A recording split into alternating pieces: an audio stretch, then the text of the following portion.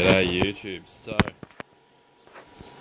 to add to the list of silly things that I can do with this uh, UKC 4000, 4000 watt power inverter, it won't start things with the big inrush current, like uh, induction motors, transformers, things like that. It doesn't like starting them. So what you actually do to start them is turn the device on and then power the inverter up and it'll start it. So today we're going to try and use this to weld with. We're uh, in the high 14s up there.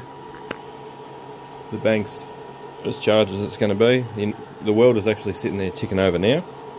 Um, I did that so I could actually get it to start, otherwise it beeps and carries on and like I said, it doesn't like inrush current. So we've got this little gasless, I'd say 80 to 100 amp really simple basic welder. Um, it's sitting there buzzing away right now. We picked it up at a garage sale years ago from my mate.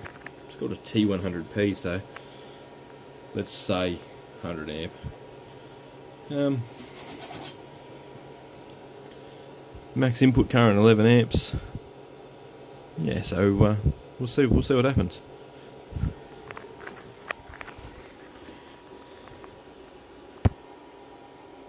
Alright, so we got this uh, just a chunk of uh, fairly heavy walled steel.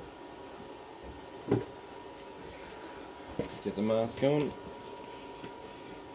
Now one thing you always got to remember about these uh, cheaper little MIGs is they're electrode positive. So that's always actually live. Let's see if we can't lay just the smallest bead down with it.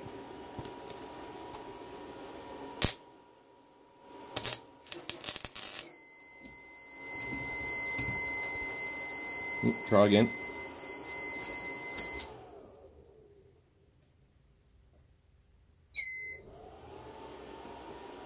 we're back on. So like wire come out the end and it did something, so let's start.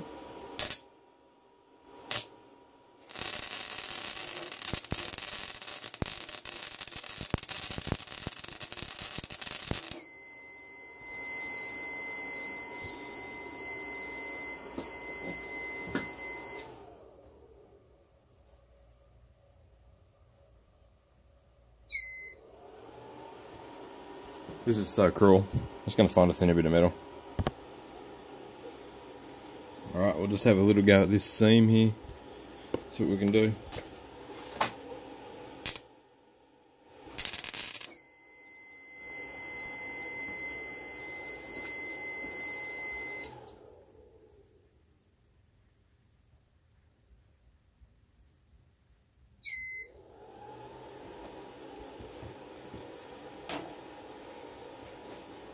I it's picking it up as a fault, like as if it's short circuiting, it's not enjoying it.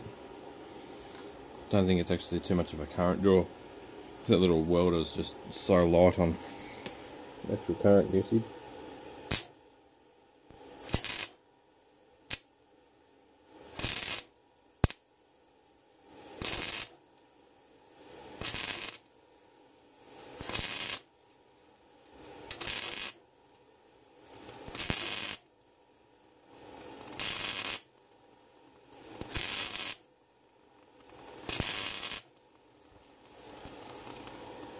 Right, so I actually turned that up to high.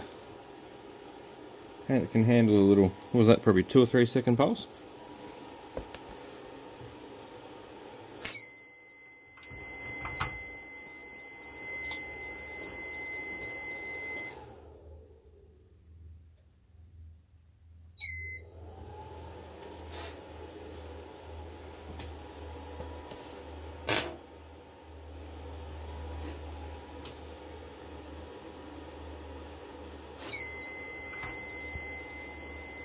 Yeah, it doesn't like it.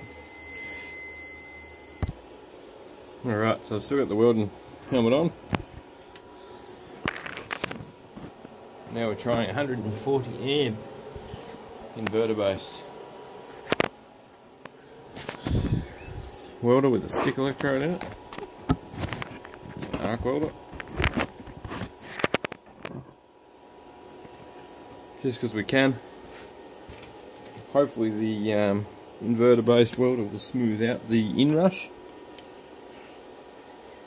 Bloody hell, it's a 3.2mm rod too. Oh, we'll see. It'll either work or it won't.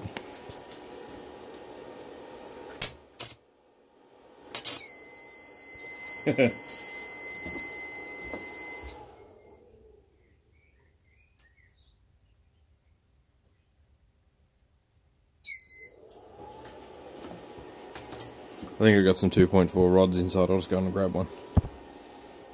Alright, we got a little 2.4 mil electrode now. I'll turn the current down to about 50. Let's see what happens.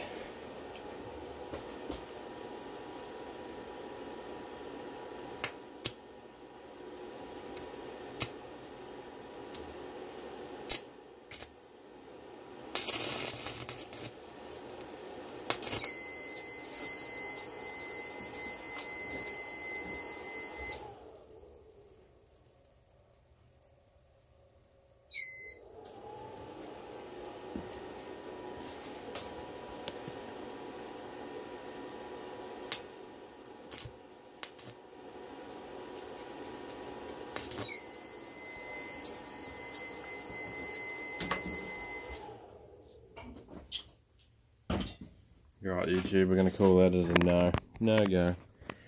It cannot do it. It's just too uh, too spasmodic up and down. It's got plenty of input current. We've got these 4 gauge leads from a 14 volt pack. Just three of those, five of those. We've got this big beast here, which uh, as you've seen the other day, I was easily continually putting out 60 amps and uh, we've also got 200 amp hours of little buddies down there on back to this pack so they're all joined together. There's tons of current that can be fed to the device but it's it's definitely an inrush thing. Once you get that the, the sticking what the inverter based welders will automatically turn themselves down so that you can actually break them free rather than melting well and truly on there. And uh, that wouldn't come free. So every time you get a bit of an arc length the current's got to be lifted as the current comes up to make the arc length maintain so your rod doesn't go out. It's a uh, current goes up and inverter says no. 4000 watt? Nope. 8000 surge? Hell no. And uh, inrush current they do not like. But things like drills, stuff like that, it's definitely going to run them all day. Still cheap, still useful. It runs. That no worries. I'm still going to use it for stuff, but uh, it's obviously not as good as a uh, expensive brand one. But for something that's 4,000 constant, 8,000 surge, in a good brand, correct me in the comments if I'm wrong, could be worth anywhere into the couple of thousand dollar range. Thanks heaps for watching YouTube. You guys asked the question, what can you do with it? Yeah, you can't weld with it. There you go. Thanks for watching. Catch you in the next video.